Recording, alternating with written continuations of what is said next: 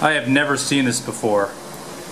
Growing up in New York, living in Florida, driving up and down the whole eastern seaboard, I've never seen the FM bands just empty. I mean, I've seen it get driving driving out west in the continental U.S. Uh, I've seen the FM band thin out, but never completely empty. And it's not just the auto scan being picky either. Every channel sounds like this. So I'm offshore British Columbia right now. I got the coordinates posted in the video. And for the first time in my life, there's nothing to listen to on FM.